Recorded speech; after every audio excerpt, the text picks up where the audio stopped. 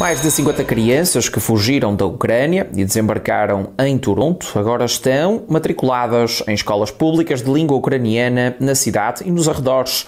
Avançam os conselhos escolares locais. Existem quatro escolas públicas que ensinam os alunos em ucraniano. O Toronto Catholic District School Board administra três escolas ucranianas e o Dufferin Pill Catholic District School Board opera uma. A St. Demetrius Catholic School, a Joseph Cardinal Sleepy Catholic School e a St. Josephat Catholic School são todas escolas públicas ucranianas em Toronto. Já a St. Sophia Separate School está localizada em Mississauga. O site da Joseph Cardinal Sleepy Catholic School revela que os programas académicos incluem metade do dia de ensino em ucraniano para alunos do infantário e 30 minutos por dia para crianças do primeiro ao oitavo anos.